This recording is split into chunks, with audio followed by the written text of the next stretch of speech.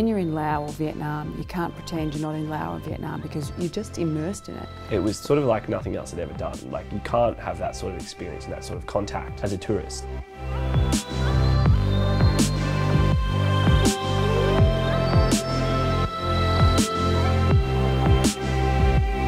It was just really eye-opening and you know who can really turn down a field trip to another part of the world. Throughout the course I met some amazing students from all over the world and some really great lecturers. There's definitely a lot of fun had from the students and the staff, I would say.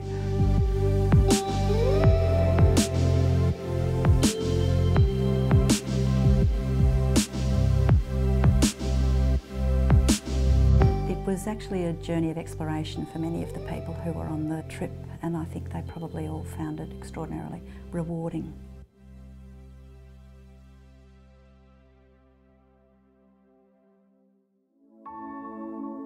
My name is Rod Keenan. I'm a Professor of Forest and Ecosystem Science at the University of Melbourne and I'm the coordinator of uh, the Master's subject, Forest in the Asia Pacific. We'd start in Vientiane in Laos and travel overland along the Mekong through central Laos into Vietnam and stopping at Da Nang.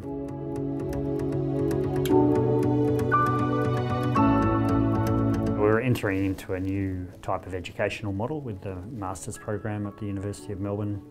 Students are increasingly looking for that uh, more direct hands-on exposure to the settings rather than just reading about it in a book or seeing a lecture about it. I mean, you remember better if you actually do it. So there's reading materials, there are references, there are literature that they can read, uh, but then we open avenues where they can explore these concepts in reality. Unless you're there with your feet on the ground and your conversations happening with the people who are making these things happen, you're not going to get the depth of experience and understanding that you do from something like this. It's rare that such good opportunities come along where you can go out in the field and spend most of your time in your field and across such a different range of forest products, different plantations, different types of plantations, different countries with different people. It was very helpful for me to go into the field, uh, talk to the people and uh, see the relationship between two countries in the region and also another country from Australia, like not so very far away, but still can contribute to the forestry in the region. You know, the, the subject gave me a, um, a, really good overview of, of what is going on in Southeast Asia, uh, what can I uh, learn from these countries, the good things and the bad things. One of the main things that I took away was that moving into different places, you have to come with a certain openness to, to um, learn about the different dynamics rather than to expect that you know everything already. I think it's quite easy to sit um, in, in Victoria and say, you know, we really need to think about how we planting trees, we can't just be cutting down forests, we can't just be, you know, ruining the environment. But what I, I think I took from this course was that that's a luxury that you get to think about when you come from a wealthy place. So you don't, you know, we don't need to rely on our forests for food and for for our just general incomes. You can't really have that viewpoint of just focusing on your own little patch anymore because what you do here has an implication across the borders as well and I think that's a big thing in forestry and a part of doing a forestry course is that you go and do uh, yeah you go to you travel to different places and it's fun as well so yeah it's worth doing.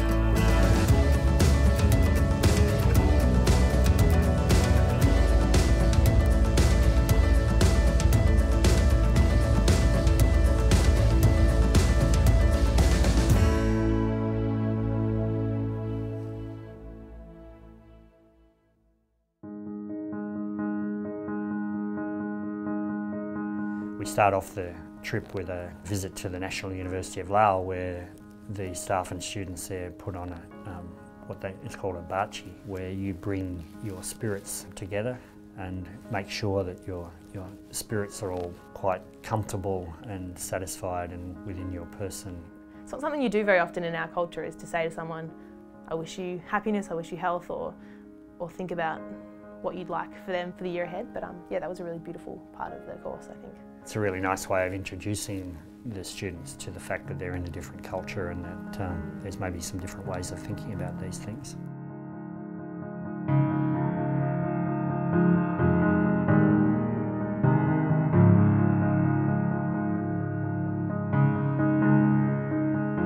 And the other thing we do is um, each year pick up two Laos students from the National University there um, and they come with us for the two weeks.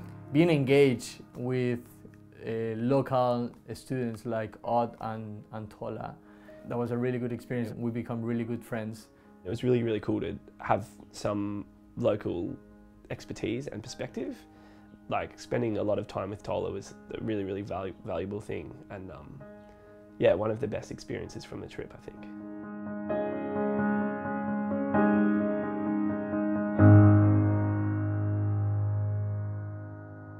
Think it would be fair to say a number of the students who came on this on the study tour would have gone with certain views about developing countries and their obligation to the environment. I think they probably came away with much more complicated understandings of what that means and about where we fit as the consumers of those products. We are all the end users of timber products, but not a lot of us are exposed to the entire supply chain.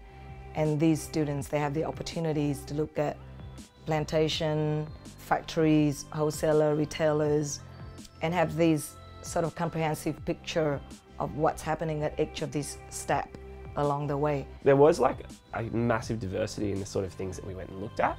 There were times we were sitting in government offices and other times speaking to um, local people that were making charcoal for a living. For a lot of students, they probably never thought of forest as um, shelter, as um, a safety net, um, as a risk management strategy for a lot of people. Developing a deeper understanding of the way in which um, people live their lives in the region is as important as well uh, for a more general understanding of, of, of our our home on the planet. So many more people work and live in the forest and grow the forest. For instance, in Vietnam, you've got 80 million farmers, and a lot of them are growing plantations on their two acres of land. It involves millions and millions of people in Vietnam and other parts of Asia. It's a huge industry. It's, there's so much labour um, that you don't see here in Australia because we've got much more mechanised systems. They churn out products for people to use, and it's not you know, they're wearing thongs and they're not wearing mouth coverings and kind of puts that in context of there's people that are making all these products for us. It's not just someone over there making it, it's, it's these people in this factory, so it sort of, yeah, puts it into perspective for sure.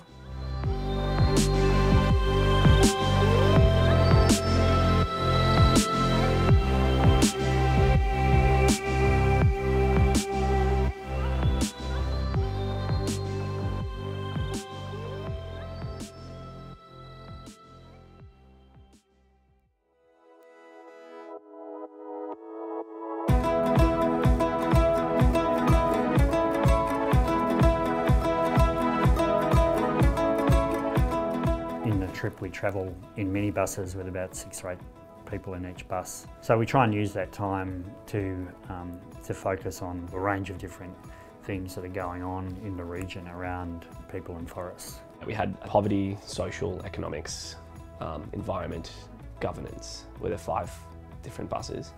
And I think this was one of the best formal structures that we had in, in terms of facilitating the learning that we were doing.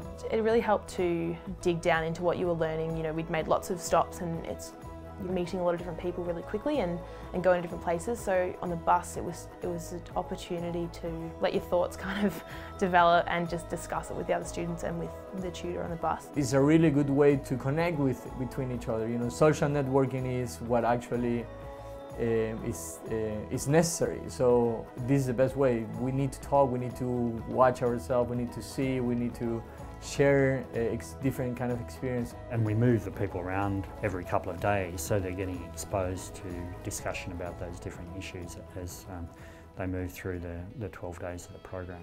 What I noticed over the course of the subject is that like those discussions also weren't confined to those buses because it's sort of hard to separate things. I mean, it's called a forestry subject, but it's about way more than that.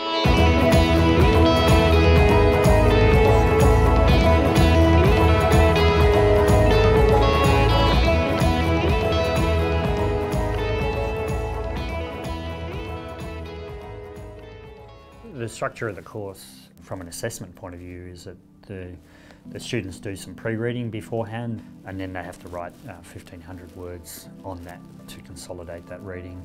The assignment that we had to complete beforehand, I think, gave everyone a, a much more level playing field, so everyone was sort of on the same page in regards to the basics of forestry in the region, which was a good way to start. And then the students get a chance to do uh, a major assignment for half the marks, which um, allows them to explore an issue that's of interest to them.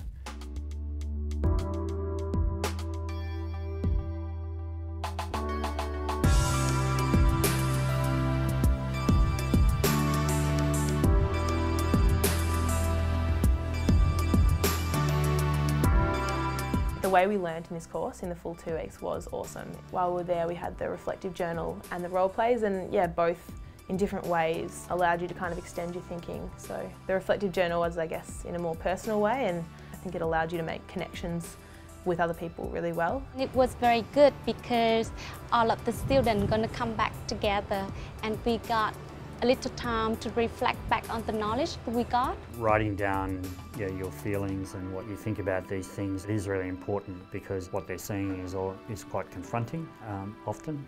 I think people need to have a mechanism for processing some of that internally and, uh, and learning a bit more about themselves um, by thinking about how they're reacting to those situations. And the role plays I just found really fun. I was before we left Australia, I was like, seems a little silly, like role plays, like this is a master's course, but um, it does. It allows you to, um, I guess, express what you're learning in a different way, and I think that's really important in life.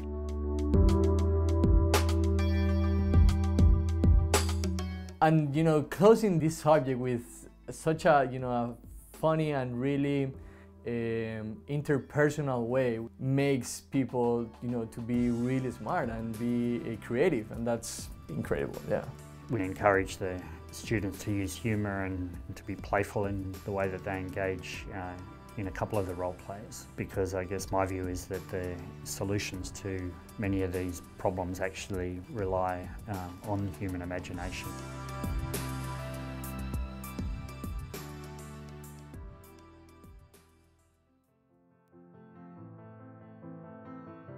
Going to Laos and Vietnam and doing this sort of stuff is just the next level. You can't, I guess, escape the learning. There's something valuable about seeing something happen on the ground. Um, so sort of getting out of a classroom setting and out of a textbook and actually speaking to people um, and seeing things for yourself and being able to sort of make your own decisions. I would say hands-on is always better. You know, seeing and watching and actually sharing this experience with the people and also watching by yourself what's going on. Sitting in a lecture theatre is good, but you always learn a hell of a lot more if you actually go out into the field and you see it and you just start noticing things and it's a really great form of education. When I look back on the six years that I spent doing the Masters, it was by far and away the most interesting subject I did and it was the most different subject I've ever done in any university study. Um, it, it is really incomparable. You know, what, what else what else can you ask for for a subject?